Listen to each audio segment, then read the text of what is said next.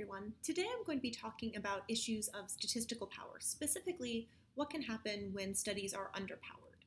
So just to make sure everybody's on the same page, statistical power is the probability to detect an effect when that effect is true in the population. So for example, let's say I'm running a study trying to see whether men and women differ in their average height. The statistical power of my study tells me how likely I am to find that effect. So for example, if I have 80% power, if I run 100 studies, so I draw 100 random samples from the world's population, 80 of those 100 studies will come back as statistically significant.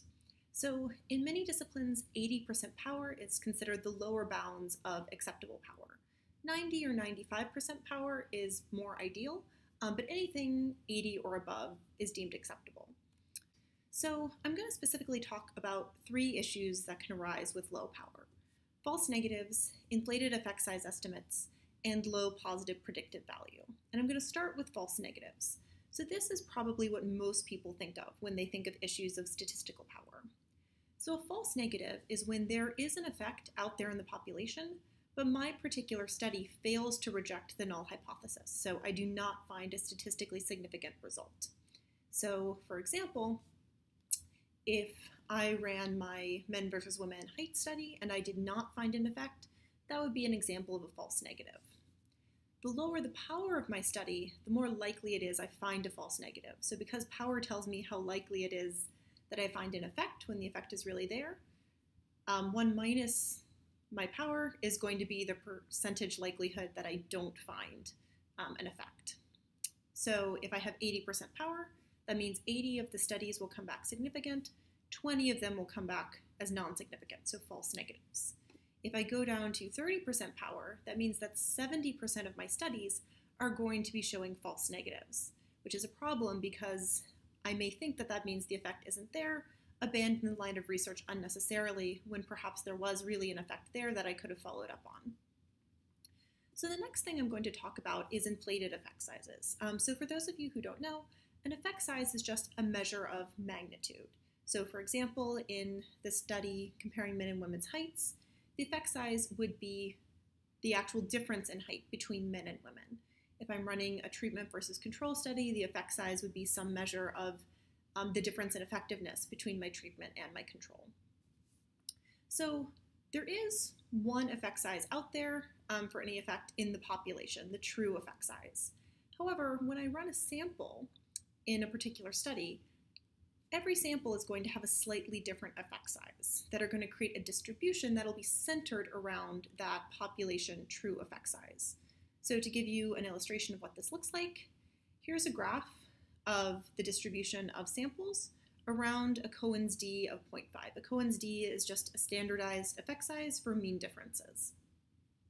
And a Cohen's d of 0.5 is a medium-sized effect. So you'll notice a couple of things. First, these light blue bars are showing the frequency of each different effect size. This was done by running 10,000 simulations from a population that had a true effect size of 0.5.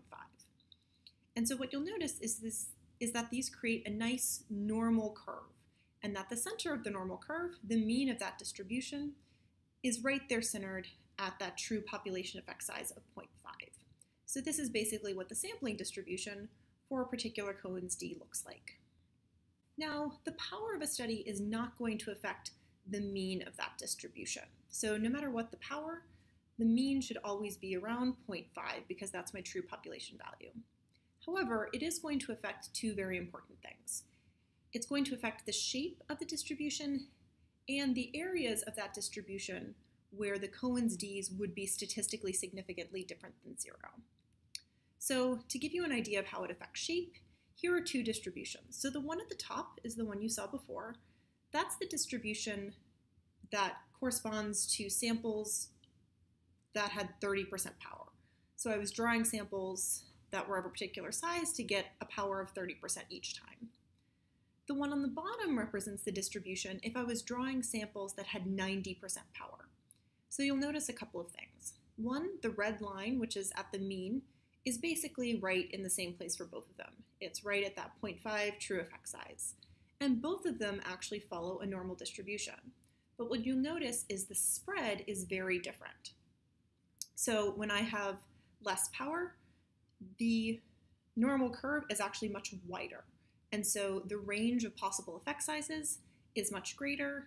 Um, I can get much more extreme effect sizes. When I have more power, that distribution actually narrows. And so the range of effect sizes shrinks, and I'm going to get more effect sizes that are really centered around that true effect size. So I also mentioned that my power is going to change the portion of the curve that would be statistically significant. So what these shaded in dark blue sections correspond to is all the effect sizes in these curves that correspond with a statistical test that had a p-value of less than 0.05. So the statistical test came back as statistically significant. So what you'll notice is that when I have lower power, when I have 30% power, much less of this curve is shaded in, much less of it is going to pass that statistical significance mark. And what does pass is actually kind of shunted off into that one tail. So it's more extreme effect size values. And actually, the true effect size, that D of 0.5, wouldn't be statistically significant with 30% power. If we go down to 90% power, a much larger proportion of this curve is shaded in, which means that many more effect sizes from this curve are going to come back as statistically significant. And what you'll notice is that, yes, we still get effect sizes from that tail end of the curve, but many of the effect sizes are right around in the midsection of this curve. And so effect sizes close to that true effect size are going to reach statistical significance. So why is this important? Well, from previous research, we know that many fields have a bias towards only publishing positive results. So what this graph shows is the proportion of statistically significant results in the published literature across a wide variety of disciplines. And what you can see is that um, even in space science that has the lowest proportion, that really is right around 65 70% um, positives all the way up to psychiatry and psychology, which have about 90% of the studies being published showing statistical significance. And so, what that means is that effect sizes from the shaded in areas of the curve are far more likely to get published. And so, what that is going to do is basically if I have studies that have 30% power, any effect sizes in this non shaded area I may run a study and I may get that effect.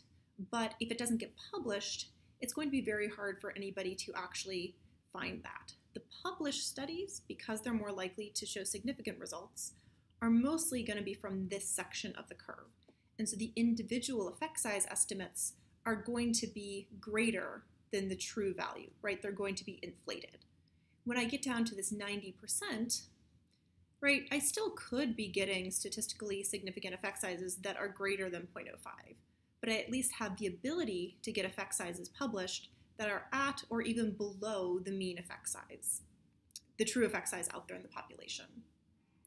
And so this is going to do two things. It means that effect sizes up here, um, if they're statistically significant, are going to be greater than the true value. Here they might be. They could be at the true value, they could be a little bit lower. But it also tells us that if you were to average across all the published effect sizes, um, assuming that we're in a field where the vast majority are positive, that the average effect size from this top distribution is going to be much greater than the true effect size. Whereas this one, the average effect size of published studies is going to be much closer to that true effect size. So to give you an idea of what this looks like in graph form, um, this is a graph that was based off of a few different simulations. So basically, um, the true effect size out there in the population was a Cohen's d of 0.5 once again. And so for each of these different statistical power levels, I ran 10,000 simulations, pulling out um, 10,000 effect sizes. I then averaged across all the effect sizes within those 10,000 um, simulations that were statistically significant. And so what these averages represent is the average effect size of reported Cohen's d's. And by reported, I mean in this case Cohen's d's that were associated with a statistical test where p was less than 0.05. And so what you notice is that when the statistical power is high, when it's at that 90%, you get an average effect size that is very close to the true effect size, right? That effect size is almost at that 0.5 level. But as statistical power goes down, the average effect size gets larger and larger and larger until it's all the way up over 1.75. So there's this huge inflation of the effect size that happens as statistical power decreases. So why is this a problem? Well, it's a problem for two reasons. The first is that we'll tend to overestimate the effectiveness of our treatments or the differences between groups. Sometimes the magnitude of the effect size, we may be more or less interested in that. Um, but at other times, the magnitude of the effect size is what we're really interested in. And that may actually change our behavior or influence decision making, at which point it's very problematic if we're getting an overestimate of that effect size. Additionally, because oftentimes people will use published studies to power future studies, if the effect sizes in the published literature are inflated, that will actually mean that future studies are actually not properly powered for the effect sizes that are in the population, so the ones they're actually searching for, which means that actually low power will be perpetuated across future studies because the published studies are not a particularly good estimation of that true effect size. So the last thing I'm going to talk about is something called positive predictive value. So the positive predictive value is the probability that a positive result, so a statistically significant result, actually represents a true positive. So if I get a significant result, is that effect really out there in the population? So this is the equation for positive predictive value.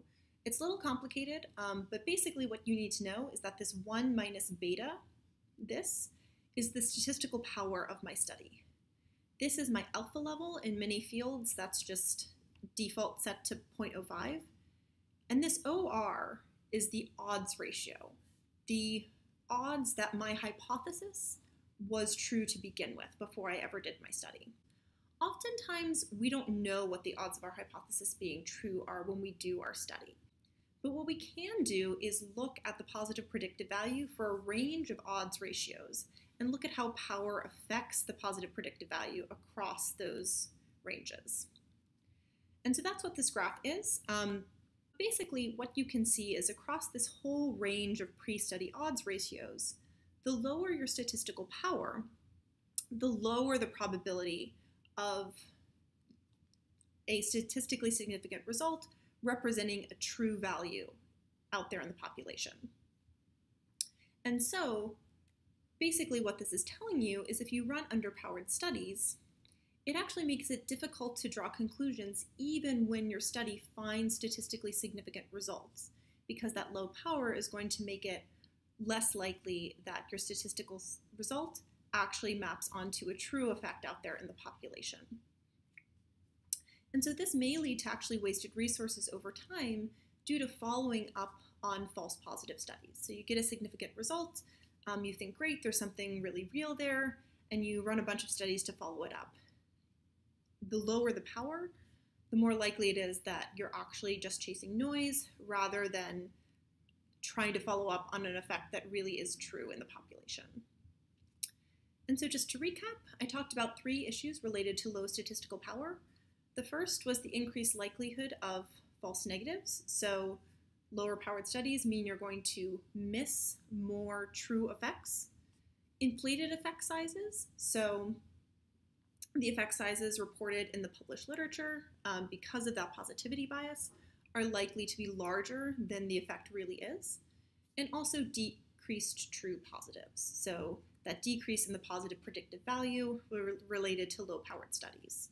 And so altogether, what this means is that low-powered studies actually make it harder to draw conclusions from positive or negative results um, because it's difficult to figure out whether a positive result is a true positive or a false positive, and whether a false and whether a negative result is a false negative or a true negative. And so you really don't get all that much conclusive information out of a low-powered study when it's taken on its own. So as with all our videos, the slide decks for this presentation, as well as the R code to create um, some of the various graphs I showed, are all available on the OSF, so you can download them, play around with them. This particular project, if you go to our main website, uh, click on Consequences of Underpowered Studies, you can get to the section with all the materials. I'll also be adding a section um, with suggestions for further reading if this is something you're interested in and want to get more information from articles um, that are particularly informative on this topic.